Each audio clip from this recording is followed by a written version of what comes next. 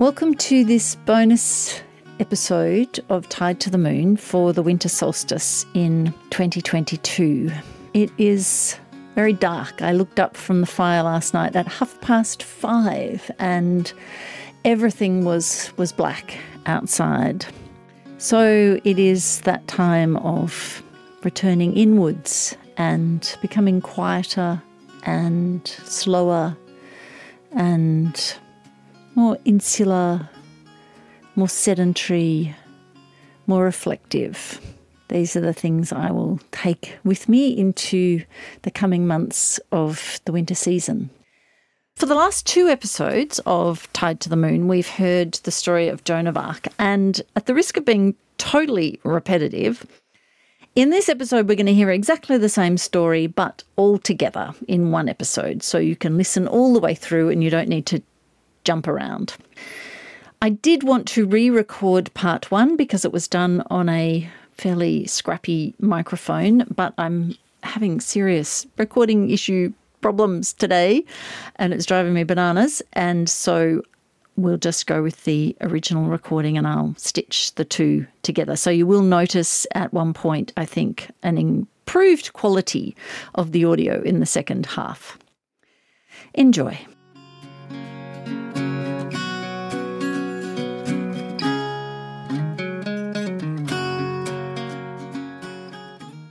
I was 13 when I first heard a voice from God for my help and guidance.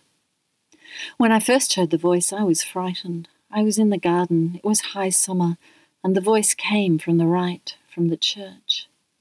By the time I was 17, two to three times a week, the voice would say to me, You must go to France, you must go to France, you must lay the siege at Orleans, you must go to Robert de Baudricourt at Vaucouleurs, he will arrange safe passage for you. So said Joan of Arc in 1431 at her trial for witchcraft and heresy. She was 19 years old, and she's referring to a time two years earlier when she was 17 years old. At that time, France was in its darkest hour. For 75 years, the English had been invading the country seeking to conquer it and claim the French crown. For the last 20 years, the French themselves had disintegrated into civil war. There were the Burgundians who aligned with the English, led by the Duke of Burgundy, and there were the Armagnacs, led by the Duke of Orleans. The French royal family itself had splintered. In 1420, when Joan was nine, the Queen of France had signed the Treaty of Troyes with the English. And under that treaty, her daughter would marry the King of England, and their heir would inherit both the French and the English crowns. That same treaty disinherited the Queen's son, Charles, and he was with the Armagnacs. Now, France is geographically divided across the middle in a great arc by the River Loire. And at the time Joan is 17, most of the territory north of the River Loire, including Paris, is held by the English and the Burgundians. And most of the territory south of the River Loire is held by the Armagnacs. And Charles, who is also known as the Dauphin, has his royal court south of the river at Chinon. A few months before Joan's 17th birthday, the English lay siege to the city of Orleans. Orleans sits on the River Loire at the most northern point of that arc.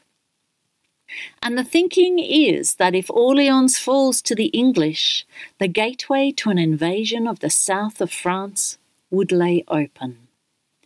Charles the Dauphin is like a rat in a trap. He's considering moving his court further south, maybe even going into exile. His coffers are empty and his soldiers are completely demoralized.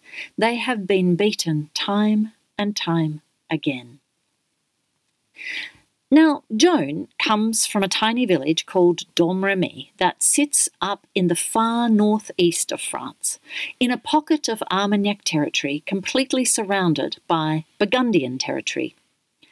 And in her home village, she's considered good and kind, charming, maybe charismatic, but boringly pious. But she conceals a steely determination a strong and resolute voice, a clearly focused eye, and an unshakable faith in her God, her mission, and her role.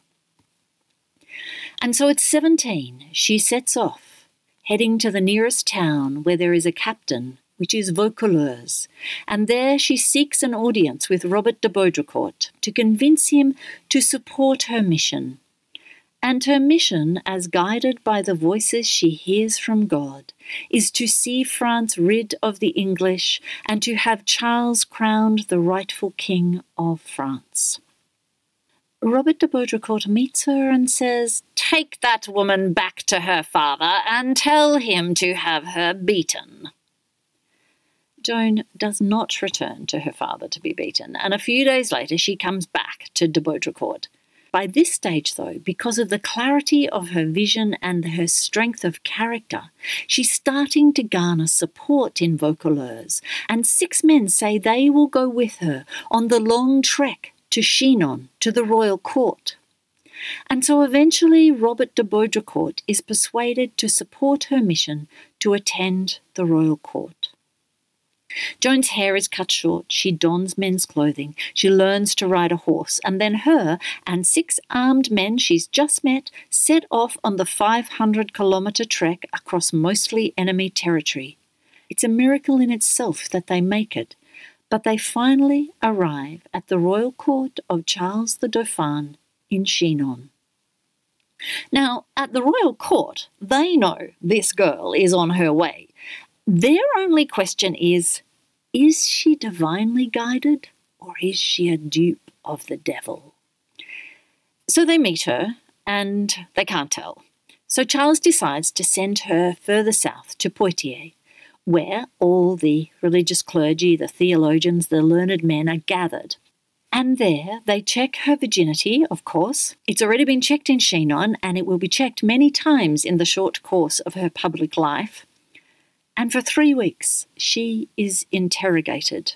And they find that she's good and pious and that there's no sign of evil in her. But they want a sign from God to show that she is truly guided by Him. And so they decide to set a test, and the test is that she will be allowed to lead a siege at Orleans. And so she goes back to Chinon, and over a number of weeks, she's fitted for her own armour and she has a banner made. A banner that she will carry at the head of the army as they go into battle. It's a big white banner, and she has the words Jesus Maria painted at the top. And there's a picture of Jesus, and there's two angels, one behind each of his shoulders, and he's sitting in judgment on the world. And Joan chooses a symbol for herself, and she chooses the fleur de lis, the French flower, and has that painted on the banner. And then she spends the next few weeks learning to walk with the weight of the armour and learning to ride with it, and learning to ride with the weight of the armour and carrying the banner. And then her and the army head off to Orleans. Now, Orleans was under siege by the English and the Burgundians, but they didn't have enough troops to fully surround the walled town. So it's fairly easy for Joan to get into Orleans, and she arrives there with supplies and six of her entourage. But for some confusion of reasons, the army stay on the other side of the river, and after Joan goes into the town, they about face and head back to the last staging ground where they'd spent the previous night. So Joan arrives into Orleans to a hero's welcome. They line the streets to catch a glimpse of the woman sent by God, sent by Charles, their rightful king, to save Orleans. They reach their hands out to touch her, and she is ready to fight. But the leaders of Orleans say, It's great that you're here, very grateful. You've raised our spirits and you've brought us food. We were hungry. But you've only come with six more soldiers, and so we're not in a much better position than we were before you arrived. And Joan says, I have been sent here on a mission from God. I've been sent by the Dauphin, the rightful king of France. I need an army. Send for the army. How can I do God's will without an army? So they sent for the army. While she's waiting, she decides to send a letter to the English. It will be wrapped around an arrow and fired across the river to where they are. She doesn't write it because she's illiterate, but she dictates it, and this is what that letter says in part. King of England, and you, Duke of Bedford, who call yourself the regent of the kingdom of France, submit yourselves to the King of heaven. Restore to the maid sent here by God the keys of all the fine towns that you have taken and violated in France. And if you refuse to listen, I will raise a war cry greater than France has heard in a thousand years.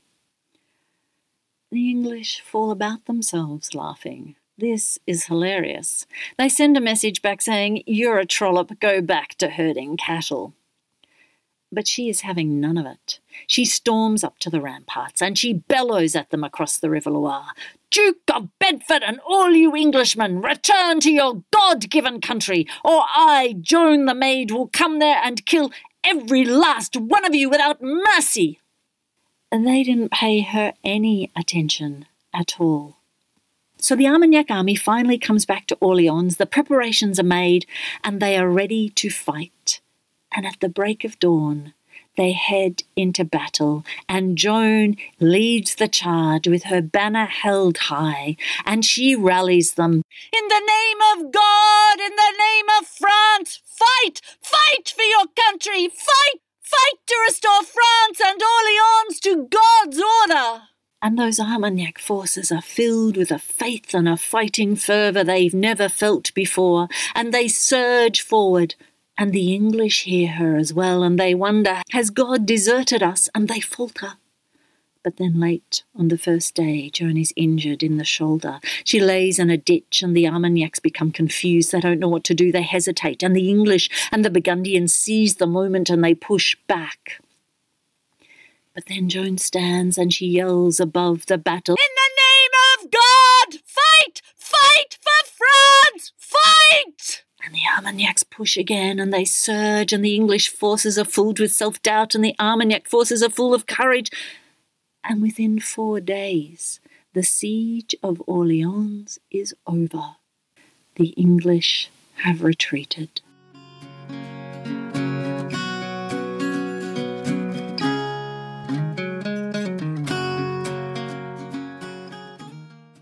Joan returns to the royal court of Chinon a hero.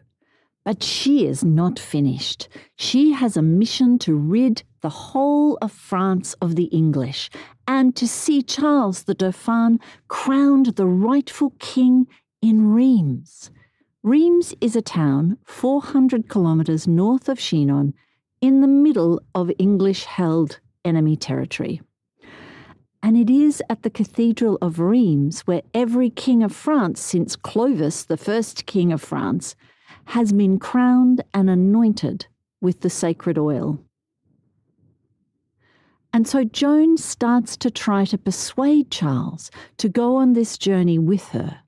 But he is as adverse to risk and danger as Joan is ready for it. Mm, I'm not so sure about this. It's a bit risky, isn't it? Uh, why don't we just wait until we win the war? Or, or I don't know, there's an agreement made and I can go to Reims protected. But he's also deeply insecure about his position and he desperately wants to be given the legitimacy of being crowned king. So eventually, Joan, with her vision and her persuasion, convinces him, and they set off on the 400 kilometre journey and town after town after town opened their gates to Joan the Maid and her vision to see the Dauphin crowned the rightful King of France. and they get to Rheims. And it's a small affair, but the Archbishop of Rheims anoints Charles with the sacred oil, and Joan stands behind him with her banner held high, and he is crowned king. At this height in Joan's favour with the king, the king declares that Domremy, Joan's home village, will be exempt from taxes in perpetuity. And so for 350 years, the people of Domremy do not pay tax until the French Revolution. But Charles the King is still the dilly dallying, risk averse diplomat that he always was, and he heads back to Chinon, despite the fact that Joan wants to fight. She wants to fulfill her prophecy and rid France of the English. That is her God given mission, that is the direction from her voices but she must obey her king and go with him. But she is vocal about her frustrations, very vocal, and she's becoming a problem that won't quietly go away. Joan is bordering on usurping royal power and fast becoming a right royal pain in the proverbial. So they send her out to this skirmish and to chase after this renegade or to deal with this mercenary to keep her occupied and out of the court. And finally, they sent her to Compiègne. Compiègne is an Armagnac town under attack from the Burgundians. She knows what to do. It's like Orleans charge in, God will deliver. But this time, she is surrounded. They press in. There's no way to escape. She is yanked off her horse hard onto the ground. They stand over her and they whoop in triumph. As a knight should, Joan immediately surrenders herself to the nearest Burgundian captain. And then the English rub their hands with glee. At last we have caught the Armagnac whore, and that means that God is not on the side of the Armagnacs, but is on the side of the English and the Burgundians. And we will prove that she is a witch and a heretic, and that will prove that Charles is not the rightful king of France at all. The Armagnacs, for their part, decide that the very fact that Charles has been crowned king at Rheims and anointed with the sacred oil is proof positive that he is the rightful king of France. And nothing that Joan did or didn't do, nothing the English prove or don't prove, alter that fact. Charles VII did not once, then or ever, offer a ransom or enter into any negotiations for the release of the woman who turned the tide of the war against the English and saw him crowned king.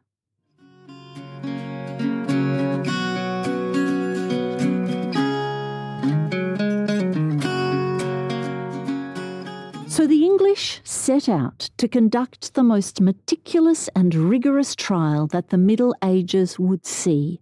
They would leave no stone unturned to make sure that everything is strictly lawful in the trial, and they will prove without a shadow of a doubt that this woman is a witch and a heretic. It takes them eight months to bring this trial to a public hearing, and then Joan of Arc, 19, illiterate, faces public interrogation by between 40 and 70 men. Most are double her age. All are vastly more powerful and educated than she is. They are lawyers, theologians, judges, clerics. She might be illiterate, but she is deeply grounded in her faith and articulate. In six long sessions stretched out over two weeks, they don't get from her what they want. And so they adjourn, and they decide they'll continue the hearings in her prison cell. Naturally, they can't fit 70 men in there, but they can cram about a dozen of them into that dark, dank, cold cell where she's shackled hand and foot. And there, soft and hard, cajoling and menacing, they duck and weave and trip and trick to try to break her resolve. Like hounds with the scent of fox in their nostrils, they barrage her. And finally, she gives them something that they seize upon. She talks of an angel walking upstairs with a crown for the king. And they all know, all those lawyers and bishops know, that visions from God are ethereal. They don't walk upstairs and they don't carry crowns. Visions like this are the work of the devil. But still, they want more. They want Joan to submit to the authority of the church. And so they leave her languishing for another two weeks, and then they come back. By this stage, she's sick. She's been in prison for 10 months, two months under intense interrogation. She's comforted by the voices of St. Catherine and St. Margaret. But she's said way more than she ever wanted to about her visions, the voices, and her relationship with God. She's also comforted by her tunic and her doublet that are tied around her in elaborate knots to keep the groping, menacing, predatory hands of the men she is surrounded by, who are her captors. She is sure God's help will come. They enter again, and the bishop demands, Will you submit to the church militant here on earth, to the Holy Mother Church in Rome? It is to the church and God victorious in heaven that I submit. It seems to me that God and the church are one in the same, and there should be no difficulty with that. Why do you make this such a difficulty? They leave and they come back again two weeks later, and this time they take her out to a room full of the implements of torture jagged metal teeth, beds of barbs, racks and screws. And she says, Truly, if you were to tear me limb from limb, if you were to separate my soul from my body, I would tell you no more. The next time they take her to a scaffold erected over the graves in the cemetery of Rouen, and there is the executioner and a sea of men to berate and cajole, to convince and persuade her. And finally, the bishop says, You leave the church no choice but to abandon you to the secular power to be burned at the stake in the purifying fires and a wave of terror steals through her, and she speaks. I submit. I wish to obey the church and her judges. And they fall about themselves, slathering at the mouth to get her to sign her abjuration, her confession, which will result in her perpetual incarceration.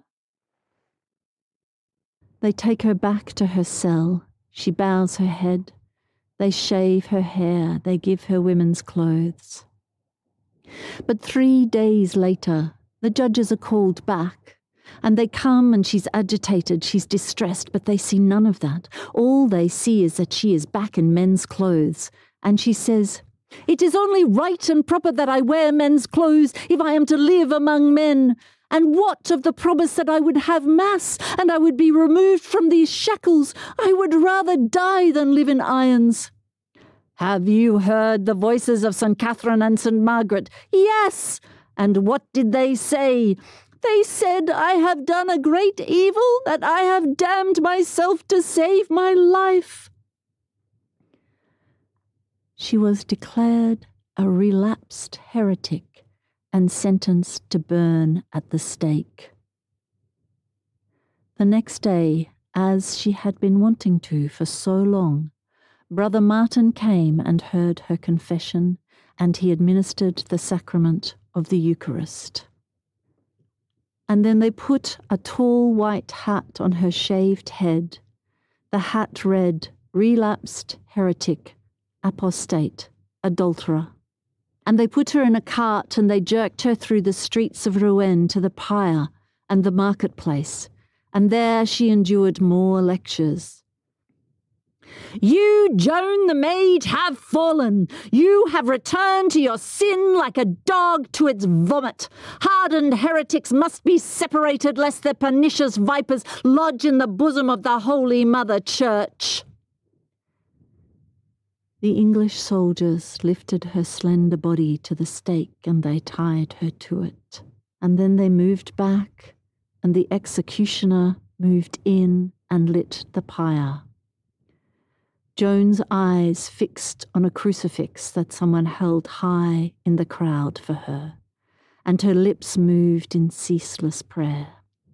Jesus, Mary, Mother of God, Jesus, Mary, Mother of God, Jesus, Mary, Mother of God, Jesus, Jesus, Jesus, Jesus, Jesus.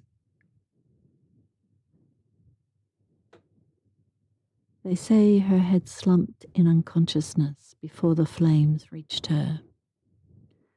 And then, once they had, the executioner raked back the fire so that all could see and satisfy themselves that she was a woman.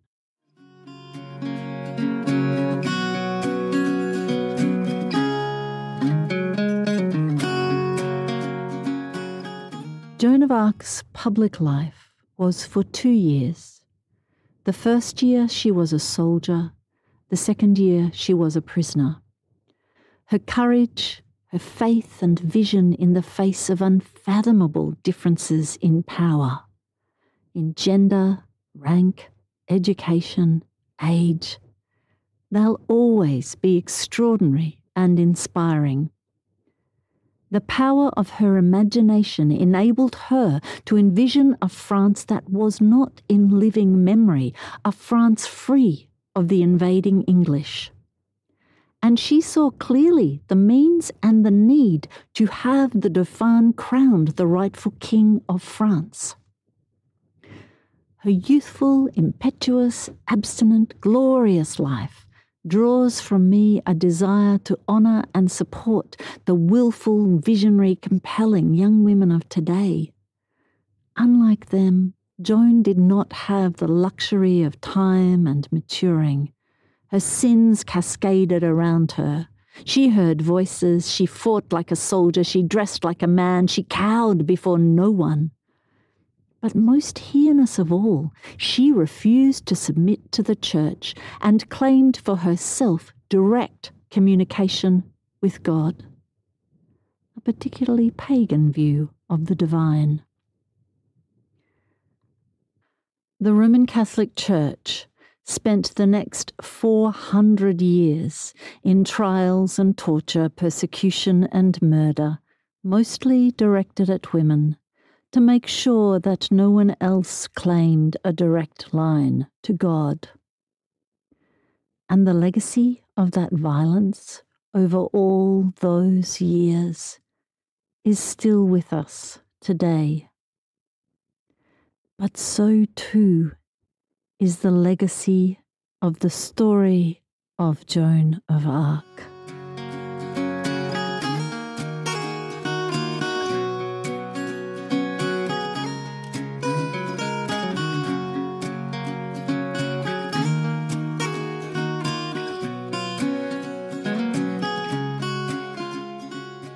Thanks for listening to Tied to the Moon. If you like this podcast, I would be thrilled if you would rate and review it on iTunes or wherever you listen and tell other people about it. And if you have any ideas, suggestions, requests, comments, or feedback, I would absolutely love to hear from you. You can find the show notes and contact details at storyground.com.au, and this is also where you can support the work of independent storytellers like me by buying me a coffee, either as a one off donation or on an ongoing basis. The theme music for this podcast is by Danya from Audio Jungle. The podcast is a production of Storyground and me, Kate Lawrence, and is made on the traditional lands of the Gunung Balak at the foot of Mount Macedon, 65 kilometres northwest of Melbourne.